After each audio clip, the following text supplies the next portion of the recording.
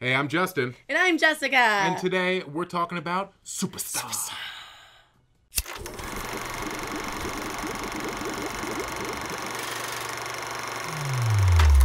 Hello. What are you doing there? Oh, when I get nervous, nervous, I stick my hands under my armpits and then I Oh. smell them like that. Should try that. yeah. sometime. Hey guys, welcome back to the Saturday Doobie feature. I'm your host Justin.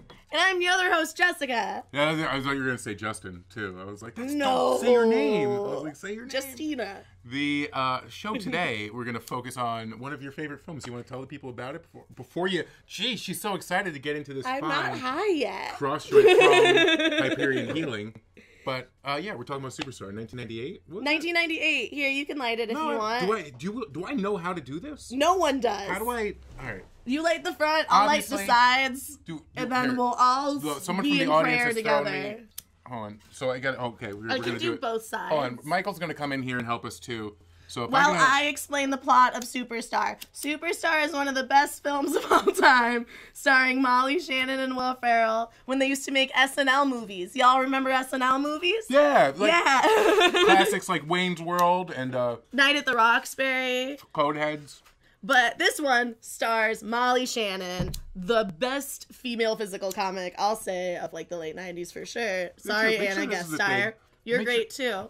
Make sure this is a thing. Very popular character. Came from Saturday Night Live. Mary Katherine Gallagher. Uh, just a, an exuberant. Uh, what would you call her? Schoolgirl. She's a schoolgirl, and what's great is with everyone that's supposed to be in high school is clearly 30, and Which they just play that up so much. It's one of my favorite gags. Yeah, it's part of what we loved uh, a couple weeks ago about An American Summer, like with that that trope. It's one of my favorites. Uh, but she has dreams and aspirations, I guess you could say. Of uh, She wants to kiss a boy and she wants to be a star. And I fame, loved yeah. this movie as a youth. And, uh, as I a 10 year old. I was like, same. also, I I like smelling my armpits too. Who doesn't? I also. they put her in special ed for making out with a tree. Yeah, she has many uh, different romantic interests in this movie. Uh, It's fucking a great. tree and a pole, which are really, I mean, like, I don't know if that spoke to you. I, I haven't had many ambiguous sexual relationships with objects. Very few poles I've wanted to fuck. Very few. Uh, but but how did they feel about you? The Ooh, consent amongst inanimate objects is really what Superstar is all about. so this movie is really, I would say, like this movie is really like a product of its time, though. You know, it's almost like there's like an Armageddon reference in the movie. There's a little dance break section in the movie. This is yeah here. there you go.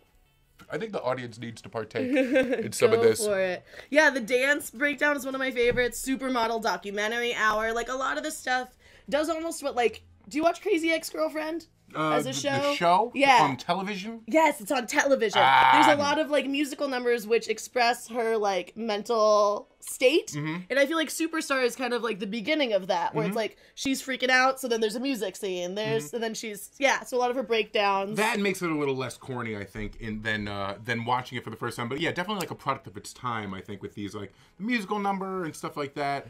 Great cast in this movie.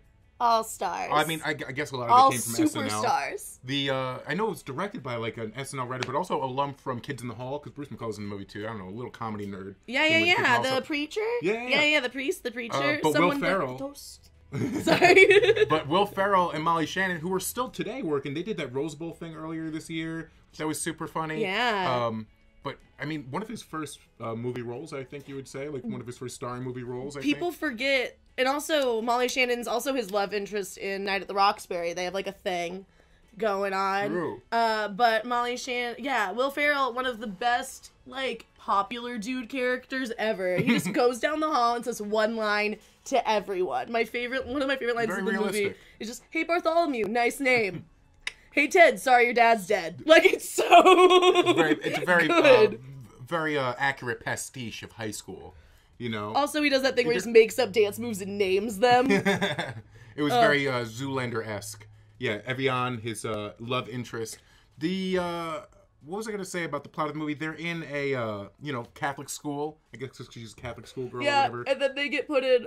She applies for a talent show Trade me. to become an extra in a movie with positive moral values. This is a movie with positive moral values, I would say. That's the I mean, it's winner of the.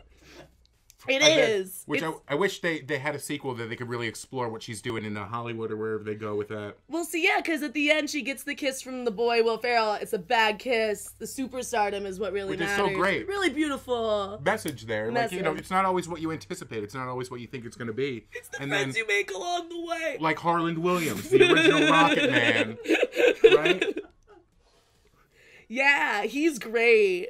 He's As quiet. the mysterious drifter. I wish I knew the name of the chick that the plays audience. her best friend. She's so funny. as we're getting more stoned, this is probably a great time to let the audience at home know we got this wonderful products from Hyperion Healing out in Chatsworth. If you're up in the valley or you're in Chatsworth, They're Canoga Park great. area, they're, they have a huge selection. I'm always in and out of there. It's not never a long wait, but uh, really awesome people there. So go down. We have actually that's this dab is from there too. I'm gonna take this dab. Take the dab.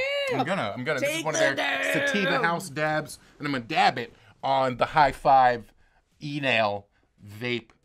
Yeah. While you Is do that, I'll think of another scene. So also in Superstar. Doesn't have to always, yeah, you know. oh yeah, no, great. It looks beautiful. It's from Hyperion Healing, who is great. No, I was I gonna say SNL movie wise. Would you say this is your favorite SNL um, based movie? That's hard because just because of how old I am, a lot of them shaped who I am as a human being. Um, Night at the Roxbury and Superstar are my top two, 100%. I had a, we'll talk about this another time, but I had a, my birthday party when I was nine years old. I had a sleepover and I made everyone watch Night at the Roxbury. Listen, I think we've all had those moments for sure. I had a puppy and I was mad they wanted to play with the puppy. I was like, this is cinematic gold. Everyone needs to definitely- know I think about Doug out- Butabi and Steve Butabi. I think I wore out my uh, VHS copy of Coneheads. I Coneheads think is great. Coneheads has a crazy ending, and that's what makes it such a successful movie. I Oh, think I forget they about that. actually go to the alien planet. That's if there's one thing I want to say negatively about Superstar, it's a little basic plot wise. You know, like they're not. It, it- seems like kind of made on the cheap a little bit. You know, like Oh, very much at the school, a lot of normal stuff. But then you compare it to like Wayne's World or something like that that gets a little more random, a little more out there. But that's there's something to be said about just telling the story really well, I was gonna say, I, and it's character based. I prefer a simple movie like that because I feel like the writers have to work so hard. Every line of that movie is a joke. There's like not any fat in that movie. It's like perfectly 90 minutes, all meat, all Mm. There's really jokes. great- At yeah. least I wasn't named after a bottle of water. Like every some line is some, uh, good. great double duty work. Will Ferrell as God Jesus. Tom Green's in it. Yeah, wait. Who's Tom Green is a bully who calls the special ed a group of retards. It's a product of its terrible. time. It's we don't endorse 1998. that. We Spread the don't. word to end the word, you know, but we don't endorse that. We don't, but don't, um, it's a funny part. Whatever, that's but uh, the get it's it, not guys. 1998, Justin. Listen, this this show is not for children. Okay, I'm just gonna, it's legal now. but this show is not for children. This is mature content, folks. There's going to be R words. There might be some S Hi, words. there'll be some K words too, which is the scariest word if you're if you're an adult person. Have you ever had? Uh, have you ever had? No, I've never had a pregnancy scare. Thank you so much for asking, though, Justin. I didn't want to go there. I know what you're gonna say. I was pregnant once. No. Um, have you ever had a spiritual experience like Mary Katherine Gallagher did? Have you ever had an experience uh, with a with some kind of higher power, with some kind of I mean, like when I was 18 and did mushrooms at Coachella, probably. yeah, yeah. It's like- Oh, I remember, I, I was like, everyone's so nice and pretty. and we're all one. You know, I all remember, here for the music. I remember I went drugs. to Coachella on 420, and I was so happy, and I ate so many edibles that I was crying, just crying while one of the bands were on stage. And, What uh, band? Don't pretend like you don't know. It was Givers. The song, they were playing the song "Up, Up, Up." It was very good. It was. I just moved to uh, California, and I actually went to Coachella instead of. Point being, you get high and weird stuff happens. Also at that Coachella, uh-huh. I had a panic attack because I thought I was gonna float away. I thought I was just gonna, my feet were gonna leave the ground, and I would just float away to the sky. And my friend kind of talked me down. He said, "Listen." If that happens, you'll be the first person that that ever happened to, and that's pretty cool.